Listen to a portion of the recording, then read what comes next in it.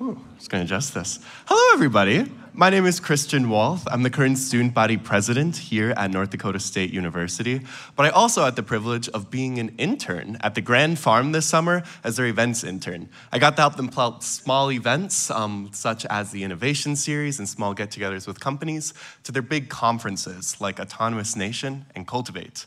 Coming from the great city of Bismarck and studying political science and strategic communications, I know that agriculture and technology were two words that were not in my vocabulary before this year. However, this summer has enlightened me. I have learned that North Dakota has been a leader for promoting ag tech industries across the region, and Fargo has become one of the beacons for its momentum. And furthermore, Grand Farm is pushing this endeavor further. It has become a place where innovation and collaboration are coming together to advance ag tech. So I have learned that the Grand Farm is energizing the ag tech ecosystem by promoting conversations and connections between technologists and growers. It has been such a privilege to be able to see these bridges being built right in front of me. I am also thrilled to learn how North Dakota students can get involved in this endeavor, and that brings us to now. I'd like to welcome John Hoeven. John Hoeven currently serves as North Dakota's 22nd U.S. Senator following 10 years of service as the state's governor. Senator Hoeven serves as the lead Republican on the Senate Agriculture Appropriations Committee and is a senior member of the Senate Agricultural Committee, where he works to ensure the nation's farmers, ranchers, and rural communities have access to the tools they need to succeed. His recent efforts include securing disaster assistance to help farmers and ranchers recover from last year's historic drought. Furthermore, his negotiations began on the next farm bill. Hoeven is working to maintain a strong farm safety net, improve the risk management tools available to farmers and ranchers, and enhance agriculture research programs. Senator Hoeven and his wife, Mikey, reside in Bismarck. They have two children and seven grandsons. I'd like you guys to all give a warm welcome for Senator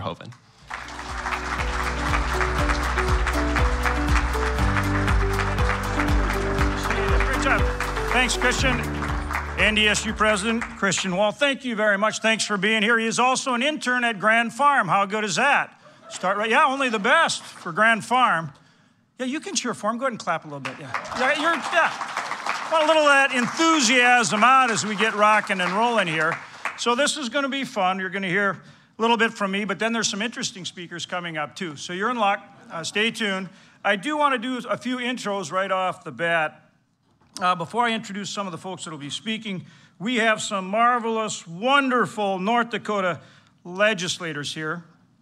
And I would like to introduce them not only because they do a, a, great job, but because, as with so many of the programs that I try to work on, we create great partnerships.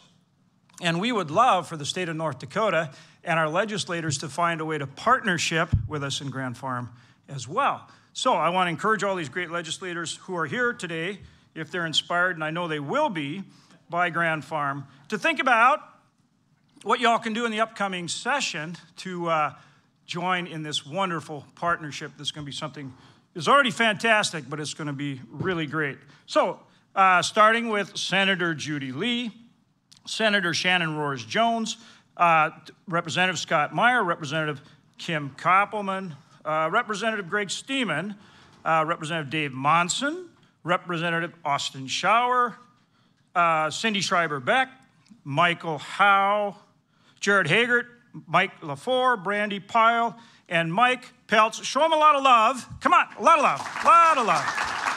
More, more.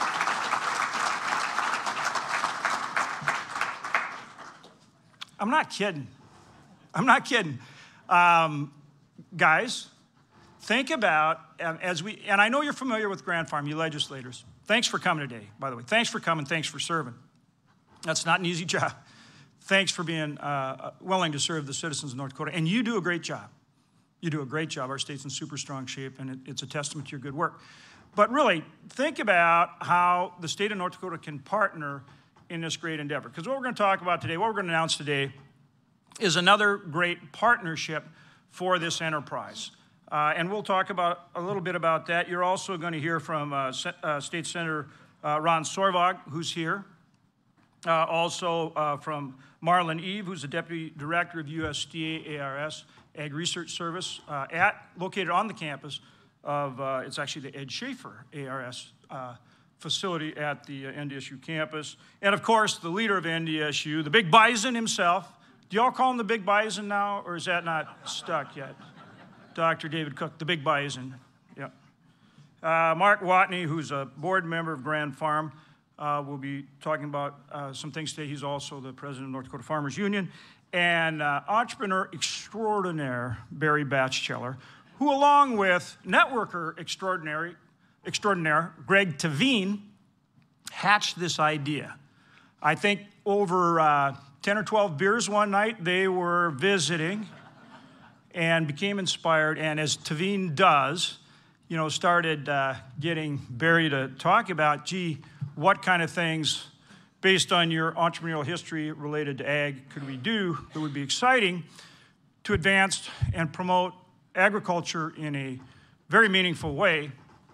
They got onto precision ag, and uh, Grand Farm was hatched. So, Tehven, you look kind of farmerish today. You got your flannel shirt. Uh, earlier, you had your hat. So, you are on the list officially now, even though you're not officially, weren't officially on the list, you are now. So, if you want to think about what you're going to say, Start thinking about it. So I was trying to come up with some ways to bring key players together that could help us advance precision agriculture. You know, how do we do that? And a number of the programs that we worked on, RISE was one, somehow uh, various elements got added to it that didn't just focus solely on entrepreneurship. They got some uh, income factors and some different other aspects of the program that took away from simply focusing on how do we drive precision ag forward in new and innovative and creative ways. And so the idea was that I worked to secure some funding to bring key players together. So, where we could get cooperative agreements, cooperative agreements to bring key players together to advance agriculture, to advance agriculture. That's what I was after. So, in this case, you've got just that. You've got Grand Farm, you've got North Dakota State University and you've got the Ag USDA Ag Research Service coming together in a cooperative agreement, and we're providing a million dollars for them to come together in a cooperative way to advance Grand Farm. The concept being, how do we drive precision ag forward? So that's what we're announcing today is a million dollars for that cooperative agreement to do just that. Right on cue. Gotta love you, Tehven. Right on cue. Perfect.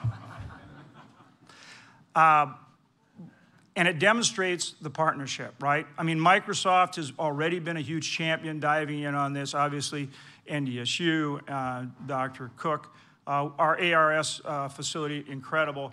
And then Barry and, and the whole entrepreneurial crew um, you know, when you think about the articulated tractor and Steiger and all the work he's done way back when, then all of his work in technology, and then so many others, the incredible talent pool here at NDSU, you can see uh, that really nobody else is positioned better than North Dakota to drive precision agriculture forward, right? And so when you think about it, we're the number one ag state in the country. We've got the number one university in uh, ag research. And I really think right now, this area, this, you know, this Fargo expanded Metro Valley, all the way up to Grand Forks, which I'll touch on in a minute, we have the most entrepreneurial climate anywhere in the country, too. So you bring those things together, and great things can happen. Great things can happen. And so when you look at it in the kind of the immediate impact right now, right? It is about precision agriculture. And think about what our farmers and ranchers are doing right now. They have to feed the world. And it really is, as Watne will tell you, food, fuel, and fiber, right, Mark? Um, and think of some of the innovative programs that you've developed over there. Again, we're, we're pushing the seams out here in North Dakota in agriculture in a lot of new and exciting ways. So when we talk about pre- precision ag right now, it's look at the, look at the price of inputs. Look at the price of anhydrous and fertilizer and all these, all these things. So if we can come up with ways through technology to drive the cost of inputs down, that helps our farmers and ranchers produce, right? If we can come up with ways for them to be more productive, same thing. All these things help their ability, their bottom line, their ability to continue to produce and grow their operation and what? Feed the world. Feed the world. And with this disruption we see right now in Ukraine, you realize how important it is that America feeds the world and that North Dakota drives this country forward in agriculture.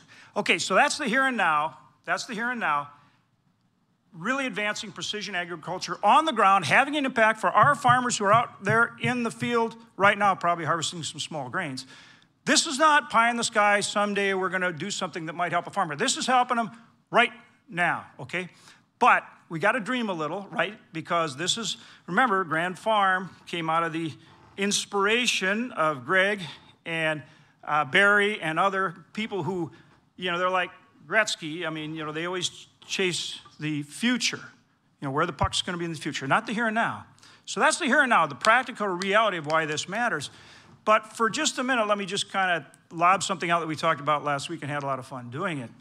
And I might just read off this so you get a little sense. Sometimes examples better than, you know, a thousand words or whatever they say. Um, think about the Grand Sky Technology Park. We are the leader in all things unmanned aviation, now reaching out into space and beyond. That is a simple 17 year overnight success. We started that in 2005. You can talk a lot of people now that are involved, and they'll tell you how they got it all done. But we actually started that back in 2005. And we didn't become the world leader in all things unmanned aviation in a year or two years, right? I mean, we've been at that for 17 years. But to say we have momentum now is, un, is an understatement. Here's the corporate partners just involved in our announcement last week in terms of Sky Range and the, and the uh, Range Hawk program. These are, these are the aerospace companies involved. Now, there's seven governmental partners, for starters, seven governmental partners, Missile Defense Agency, DoD Undersecretary for Research and Engineering, U.S. Air Force, DARPA, U.S. Navy, U.S. Army, NASA. So those are the seven governmental partners. Here's the 16 corporate partners in that venture. Northrop Grumman, General Atomics, BlueHalo, Stratolaunch, Raven Defense, Honeywell, CDSI, Leidos, John Hopkins, i3, Georgia Tech, KBR, Torch, Raytheon, Perkin, and Controlled Dynamics. Well, that reads like a who of the aerospace companies, uh, really, and certainly in this country, probably in the world, okay? We started this venture about two years ago. Sonny Perdue was out and we broke ground uh, on the initial uh, plot for Grand Farm. That was, that was just a couple years ago. What's this thing going to look like in 17 years? I don't know. I hope something like we did, got going up in Grand Forks. And I think that's absolutely realistic. And even in terms of right now, we should be linking in with things that are happening up at Grand Sky because you've all been watching Artemis, I think, with great interest, how we're going to, in essence, go to the moon. We're going to set it up so we can have people survive on the moon so we can then go from the moon to Mars, right? I've been to Cape Canaveral. I've been to the uh, SpaceX hangar. In that hangar, they have 10 Falcon 9 rockets. Every single those, one of those rockets has been to space and back 10 times. That's 100 missions just with the rockets in that hangar. And it's not like they drop down in the ocean and they're done. They take off from Cape Canaveral, they do their mission, they turn around, and they come back and they land. Okay? We have space travel. But what's our ability to sustain people, life, out in space, whether on that rocket or on the moon or if they go to Mars? Who's going to figure that out? How about us? Who's better positioned to do it than us? So when you're talking people like Greg and Barry and many others, they dare to dream big and they make those dreams happen. And that's what we're after. Okay, I went on a little long, but I sometimes get enthusiastic about this stuff. So let me introduce uh, our next uh, speaker, somebody who does a great job in the uh, North Dakota State Senate, Ron Sorvaag. Ron, where are you?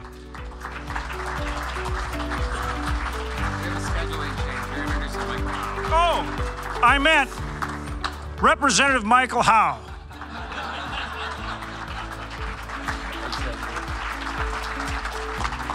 Well, thank you, Senator Hoeven. Uh, I am Michael Howe. I'm not Ron Sorvaag, so I know this large crowd assembled to see Ron today, but uh, he's a little under the weather, so I've uh, been asked to fill in. I want to speak about Senator Hoeven for a little bit. It, it's a big deal having Senator Hoeven here. Uh, he's been in the U.S. Senate for 12 years now. We've got a farm bill coming up next year. Uh, he's the head minority leader on ag appropriations.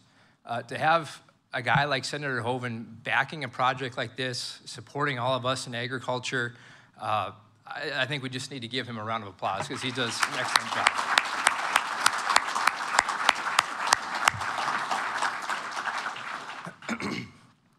I want to introduce Marlen Eve from USDA ARS. Dr. Marlen Eve grew up on a dry land grain and livestock farm in north central Montana. He received his BS in soil resources from Montana State University and a master's and PhD, PhD from New Mexico State University using geospatial technologies and modeling to study landscape dynamics and ecosystem health.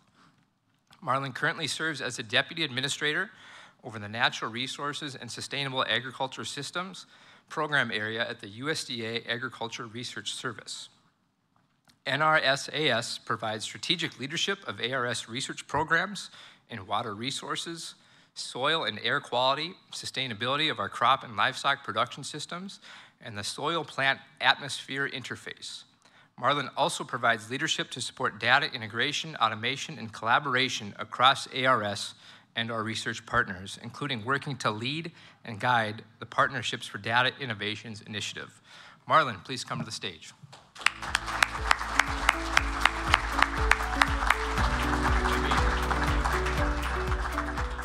Thank you, and uh, thank you, and, and uh, it's great to be here with so many esteemed colleagues, and uh, with Senator Hoeven and and uh, all of our folks from the state legislature. Uh, it's an honor, and, and I'm humbled to be here with you. Uh, I did grow up just a bit west of here on the prairies of Montana, where we grew small grains and and fed cattle and hogs. And so the landscape here is, is somewhat familiar to me. And uh, definitely that farm mentality and that farm, that rural farm atmosphere is, uh, is very familiar to me. And so uh, I'm thrilled to be here. I'm not going to speak long. Uh, I just wanted to mention that I'm with the uh, Agricultural Research Service. Uh, ARS has, I believe, three research locations here in North Dakota. we have Fargo, we have efforts in Grand Forks, and then we have the the unit in Mandan that is in the Natural Resources and Sustainable Systems program area that I lead. ARS has 90 research units across the US, and uh, we, we do research uh, with many of our land grant partners that covers all of agriculture and food and human nutrition. And so, if, if you're having a struggle or a challenge in anything related to to uh, the food and agriculture space, it's likely that we have a scientist somewhere that's working on it. So um, I, I, just wanted to mention here today that I am, I am thrilled about this new partnership. Uh, ARS has been, has been uh, thinking about big data, artificial intelligence, how to integrate and layer data sets together, how to make them interoperable, and then how to serve that data up so that our producers, our farmers and ranchers out across the landscape have instant access to data driven decision making. And that really is at the heart of what precision ag is. And so um, I am thrilled about the opportunity for our ARS researchers in Mandan and elsewhere to partner with Grand Farm and with our collaborators from North Dakota State on this new initiative, and I'm really excited to see where it goes. So um, I just want to say thank you to uh, all of those who made this event possible. And uh, thank you to uh, Senator Hoeven and his colleagues in the, in the Senate for, for entrusting us with this opportunity.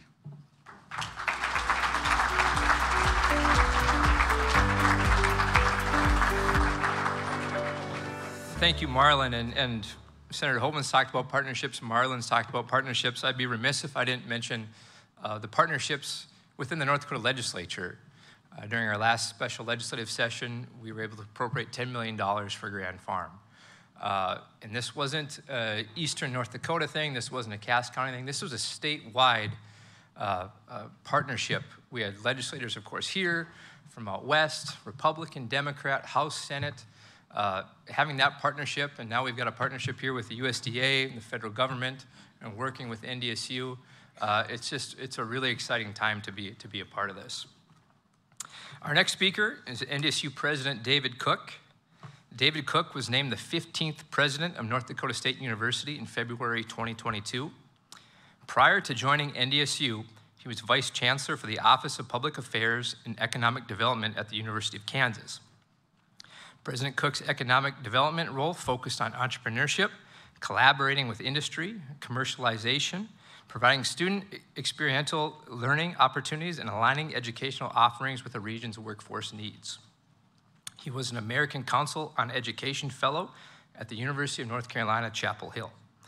Cook earned his bachelor's degree at Iowa State University and his master's and doctoral degrees from the University of Kansas. He and his wife Katie have three children Gage, Ella, and Peyton. President Cook, please come to stage.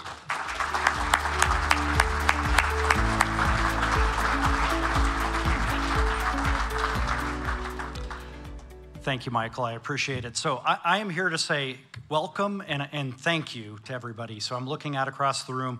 I am starting to get to meet people, which has been wonderful. A big goal of mine has been just to get out across the state, interact with people, and really ask the question what does the state's land grant mean to you? Uh, what can we do better? What can the new president do better? And, and this has involved you know, really breakfast, lunches, and dinners all day, every day, all, day, all weekends, and all the rest. And now I'm getting a little self conscious after the senator called me the big bison. I'm wondering if maybe I've done a little too much. We, we need to work on that nickname, but that's for another day. But, uh, uh, you, you, know, the thank you start with Senator Hoeven, of course. So uh, I've been really fortunate to, to, to run into him in a lot of different ways in the short time that I've been on board uh, I feel incredibly fortunate to kind of walk into this role and have somebody like him who we know supports agriculture, technology, the future of the state, higher education, NDSU, and all the rest. Uh, an incredible advocate. Uh, an incredible leader for us. So, sincerely, and, and hearing you talk about what this is all about was incredibly inspiring to me. So, thank you for all of your uh, support, and I'd like to give you a round of applause if you don't mind.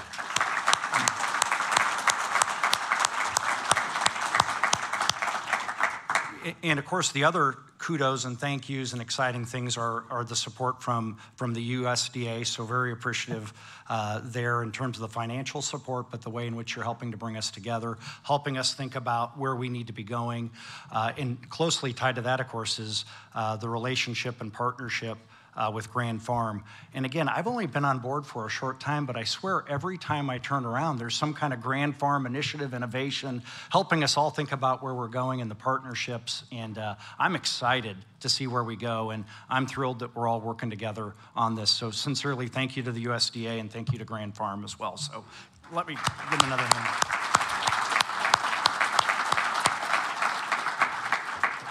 So this is exciting to me, and I think everybody in the room, because it's creating this grand opportunity for us to truly become a, an ag and tech hub uh, in Fargo, in Fargo Moorhead, in Cass County, in the region, in the state.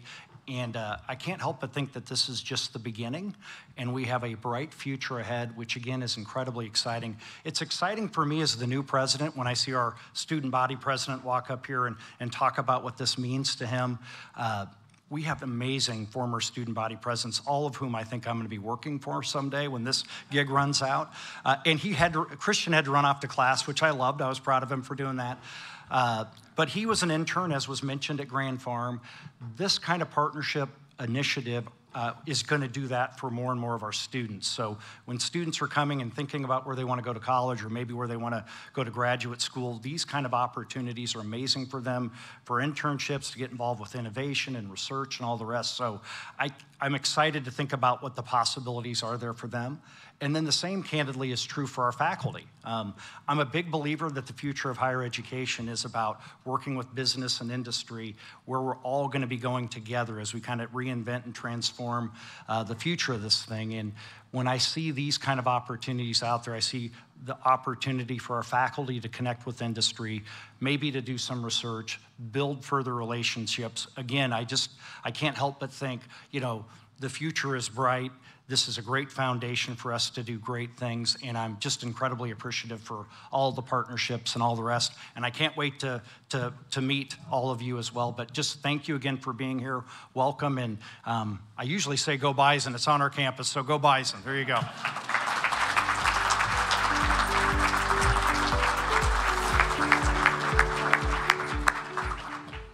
Well, thank you, President Cook. Uh, he's been just excellent. He's been all over the state in his first few months here. They took a two week tour. Uh, I know they've been meeting with legislators all across the state, so thank you, President Cook, for your, for your efforts. And I know the legislature is looking forward to working with you uh, in January. Our next speaker is Mark Watne. Mark Watne serves on the board of directors for Grand Farm and as the president of North Dakota Farmers Union. In 2018, he was appointed to USDA's Grain Inspection Advisory Committee for the Federal Grain Inspection Service. Watne farms and resides in Jamestown with his wife, Michelle. They have three grown children and three grandchildren. Mark, please come to the stage.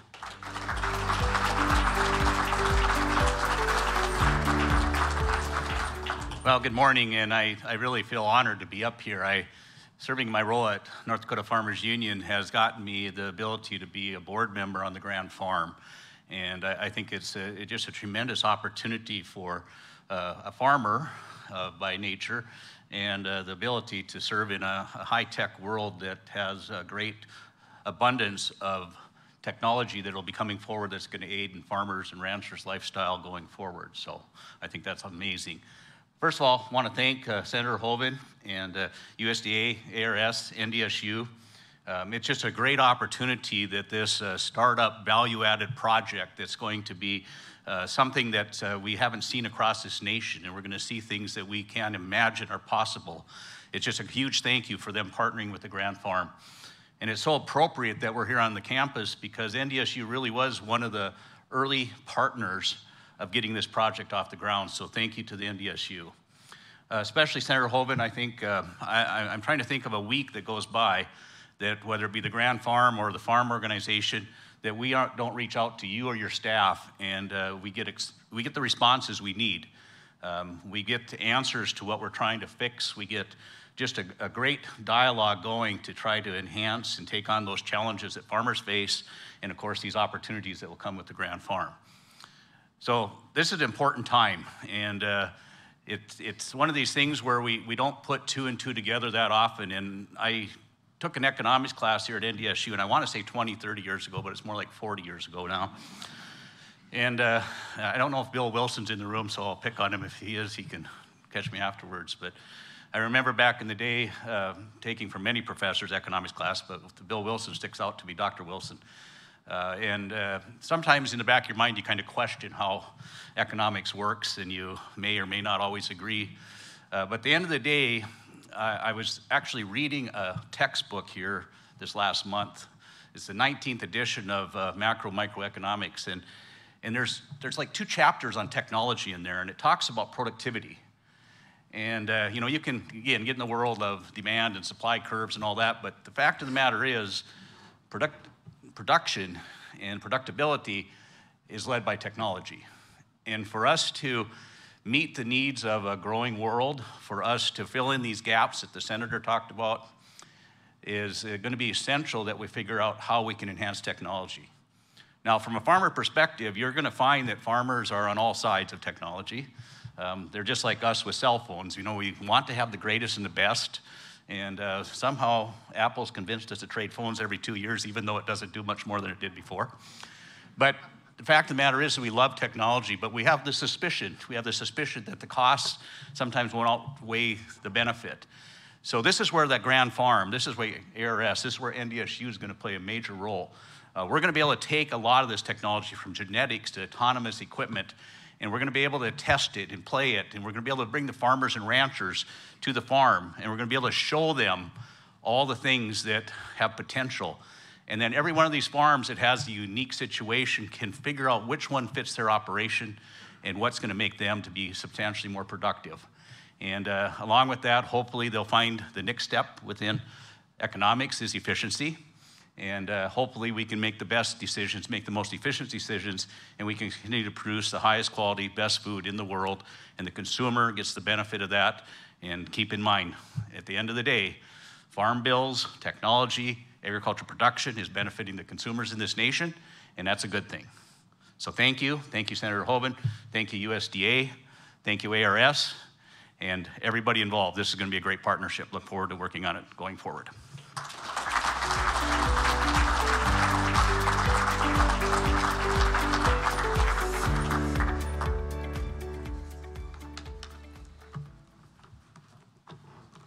Our next speaker is Barry Batcheller, uh, of course, Senator Hoeven referred to Greg and Barry as coming up the Grand Farm idea after 10 beers. I don't know if that's entirely true, but we'll let Barry uh, address how many beers it was. But Barry Batcheller is a serial entrepreneur whose professional career has spanned more than 45 years.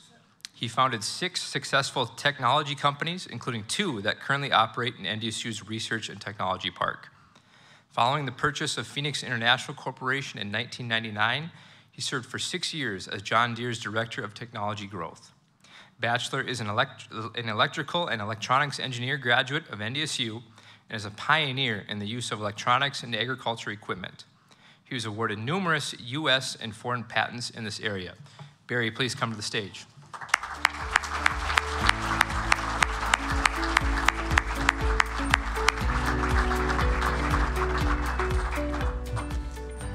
Well, I'm, I'm the only guy standing between you guys and a graceful exit, so I'll, I'll, I'll wrap this up pretty quickly. But I, I think it's really important for all of us to understand the impact of agriculture that this state has and that this city has uh, on the world. Uh, we all see what's going on in Ukraine. Uh, everybody's concerned about the ability of Ukraine to ship wheat. Um, this country has become a, a trusted food source uh, throughout the world. Uh, in 1776, 2% of the United States was not involved in agriculture. 98% uh, of the people in the United States at the founding of this country were involved in agriculture. Today, 2% of the United States population is involved in agriculture and 98% is not. So there's been a complete flip around. And that 2% of the United States population feeds this country and many parts of the world. And, but food security is not a given. I mean, food security is something that has to be worked on every day. And the ability to produce food and fiber is it requires a high uh, input of innovation from genetics to mechanics to electronics.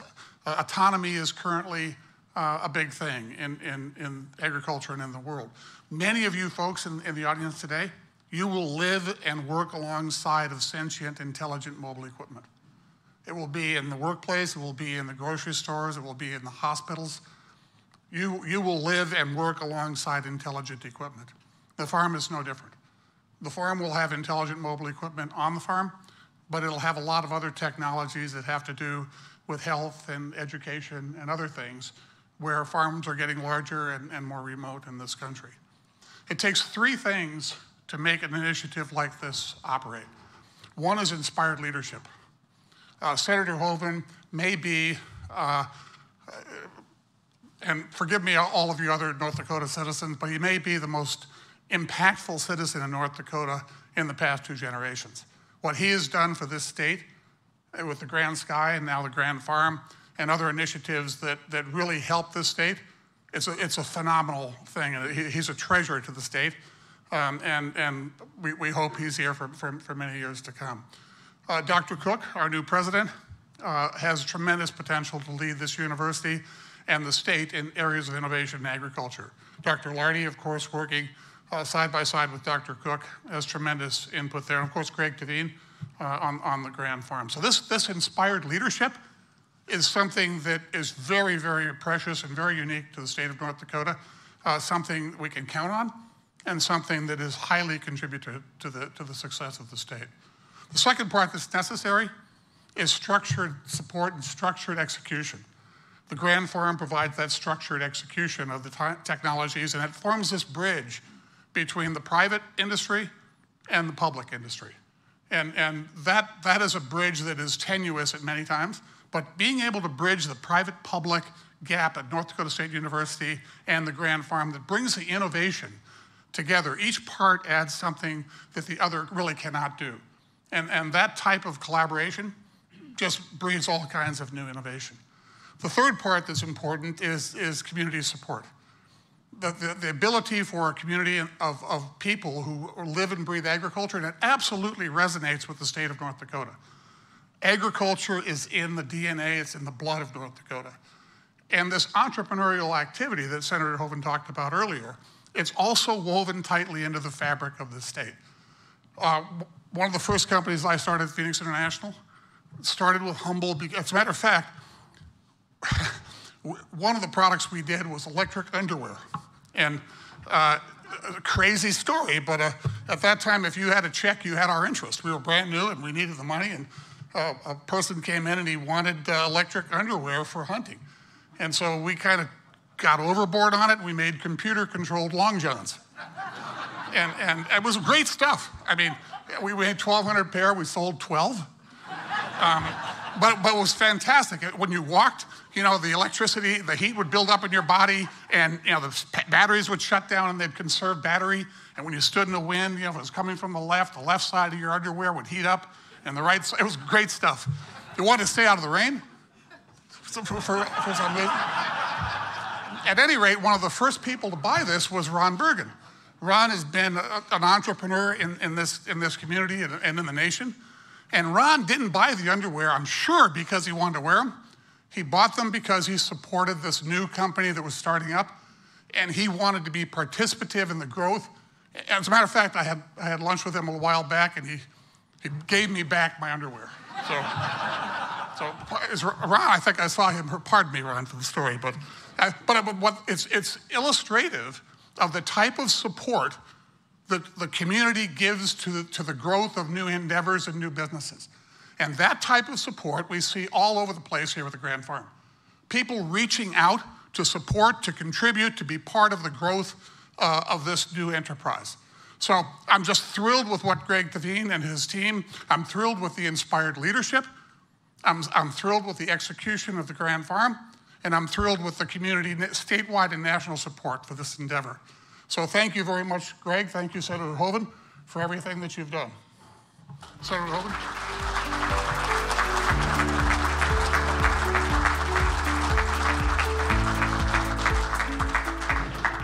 thanks, Barry. And as always, um, so gracious, but just the information and, and, the history he has in terms of entrepreneurship and, and the kind of things you're doing now at Appareo, um, it, um, beyond belief. Uh, but I, I, love that stat that you quoted. So when our founding fathers founded this country in 1776.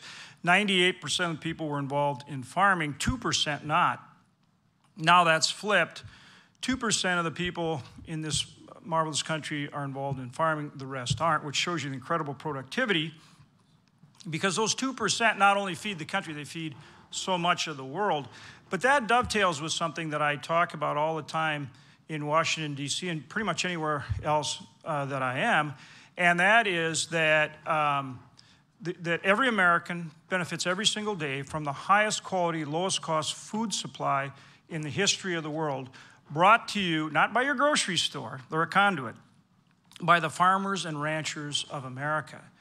And so when we work on farm policy, and, and absolutely I'm senior on ag now, so I'll be part of writing that farm bill, but um, you know, that doesn't just benefit our farmers and ranchers, that benefits every single American every single day. Americans spend less of their discretionary income on food and they get better choice, better quality, and more of it than any country in the world. Think about it. We spend less of our income on food and get far more from our farmers and ranchers. And that is a story that we have to tell in the urban areas because people don't have that nexus to farming like so many of us do. So thanks, Barry. I've got another great stat I can use now, and I will. And thanks for your leadership on this great endeavor. Come on, Tehven. So we got to drag Greg up here to close things out. Uh, as part of doing that, I'm going to mention two things. One is my staff. They work so hard on all these things. Uh, State Director Jessica Lee, Jess. Uh, in Grand Forks, we have Tom Brustegard, a no kidding real life farmer for most of his life. He's probably out getting coffee, I don't know. But you all know Tom up in Grand Forks. And then I've got some of my DC crew here today. I don't have Tony Eberhart, my chief, who actually did ag policy for Norm Coleman when I hired him when I came to the Senate. So he's, from Missouri. He's got a great uh, ag uh, knowledge and, so, and background. Uh, and then Aaron Weber, who's actually from Wishek, and I used to live down in Ashley. He's from Wishek, North Dakota. Uh, Aaron Weber, who does ag policy for us and is absolutely awesome. And John Altendorfer, uh, where is John here too? So we have a big ag crew because ag is always number one for us. We do a ton of energy, but the ag space is number one in terms of what we do. I happened to be on the campus of another great university yesterday, not as great as NDSU, uh, but a pretty good one, UCLA in California. And we're on campus there, and here's this little robot guy, looked like R2D2 in Star Wars. You know, just kind of a can. and he's rolling down the street, you know, just on campus, on the Bruins campus, the UCLA Bruins. And so we go, okay, we got to go check this out. So we go over, and he's just tooling away down there, and it says right on the side, I deliver food to Bruins. And it's, you can see it's shaped like a tank, so you can see how you open the top and put food in there. And it's got a little antenna, and then off he goes all over campus and who knows where else, delivering food to, you know, students. And it says right on there, I deliver student, I, I deliver food to students. Here's the phone number, you know, here's the, uh, uh, you know, the, the uh, address, you know, email address, uh, text or email, and I'll deliver you food. And, you, you, know, you can shoot on a little icon if you want to order the whole nine yards. So there it is, uh, Big Bison. Uh, I don't know. Uh, now, we don't call you, you're very svelte. I mean, ripped. But uh, we call you the Big Bison because you are the leader of the herd, of course. But just a thought for you, maybe, uh, you know, a robot to deliver food to, to bison. Again, think about it technology, you know, coming in here and how we can we can do these things, no doubt about it. So, but uh, to to close, a guy who, along with Barry, was really the inspiration for Grand Farm and so many other things. Greg Tehven. Greg. Uh, well, thank you, Senator Hoeven. Uh, my parents are here today, and I grew up on a family farm with a generation of farmers. And I didn't help much on the farm. I played more sim farm in the basement and ate ice cream with grandma. But I'm grateful for the values. I'm grateful for the values of a small town, of collaboration, of folks that are helping out. When somebody is sick, the neighbors show up. I think that's what Grand Farm means to me. It's an ability to bring producers together, like our Grower Advisory Board, to solve problems, to engage industry, both large, established multinational companies that we all know and fight over which color they are, to the emerging startups that are trying to solve problems using their strength of being nimble and agile and moving quickly. I think about the opportunity to engage with educators, students, um, higher ed places like North Dakota State University that after Kevin and Stacy Bifford gifted us land for the Grand Farm, and NDSU said, we'll do a project. And Dr. Lardy started to allocate resources of collaboration for students and industry on farm. I think about the ability to work with policymakers, folks like Mike from Dickinson, Scott from Grand Forks, folks like Judy Lee that have been in the service for a long time, and folks like Greg that are just getting started. As we think about policy that creates opportunity, um, I think about um, our ability to stand on the shoulders of giants. There's entrepreneurs in the room like Gary and Ron, Ryan and Chris, Keith, that have added a tremendous amount of value for their customers generated wealth, and are now in the time of generosity and sharing. Barry, Brian, and I had breakfast this morning, and we talked about what a privilege it is to solve problems like this. We've traveled around the world and met folks that they can think in two minute increments, 20 minute increments, and yet we as a region have an opportunity to play offense, to share our resources to solve problems that both generate opportunities locally, globally, and at some point in outer space with food production. And I think back to my childhood of watching small groups of people come around the dinner table to do things that mattered, to help our neighbors, to help our community, and to make it a better world for all. I'm so excited for the ability to partner with North Dakota State University, the United States Department of Agriculture, and a community that cares. We need your help. Some things to look forward to is um, some of you will have the opportunities to work with Central Cass students that'll start new technologies at the farm. We'll have the opportunity to do internships with Grand Farm. We're building a campus and we're well on our way to building a world class innovation facility and the opportunity to collaborate with industry to solve problems for real people that makes a real difference. So I'm grateful for those values. I'm grateful for this opportunity. I'm grateful for Senator Hoeven for um, letting the Budget Committee know they'll be funding us. and I'm grateful for the opportunity to work really hard with all of you to make the world a better place. Agriculture is a key part of that. Technology will reduce problems, increase efficiency, increase a safer environment, and help us make a difference. And that improves the human condition. Thanks for being here. Hope we continue to communicate, collaborate, and help us solve this problem. Thanks, and have a great morning.